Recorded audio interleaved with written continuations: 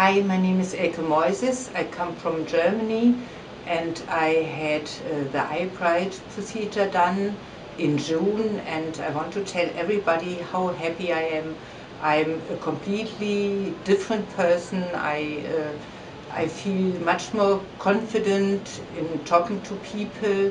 I work in the cosmetic business, especially eye beauty, and it's very important for me that my eyes uh, don't look uh, blood red shot and tired. Uh, so uh, the whole um, procedure was very life changing for me.